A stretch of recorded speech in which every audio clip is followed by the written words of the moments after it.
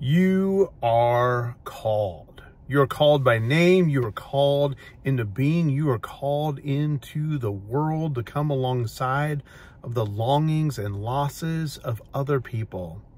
Friends, as you are going throughout your week, you're going to encounter lots of problems, lots of people, lots of circumstances, lots of situations. And I want you to take a moment. Sometimes that moment is three seconds. And I want you to ask yourself this question Who is God calling me to be?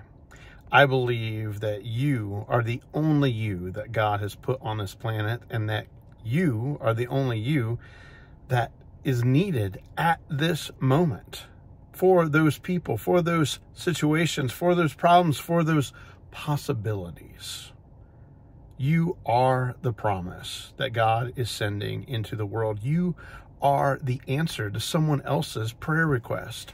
You are you. You, friends.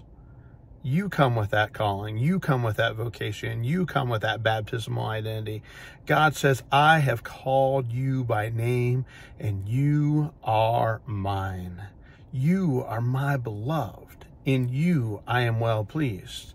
You are the body of Christ. So, friends, may you know and claim this identity.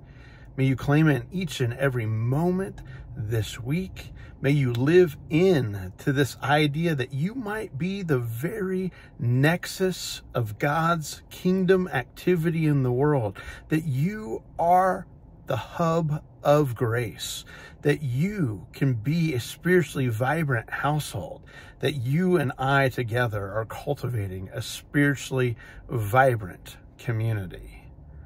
Friends, my hope is that you can take on this calling, that you know it flows out of your baptism, and that you know that the Spirit of God is hovering over you and goes out into life in front of you. Thanks, everyone.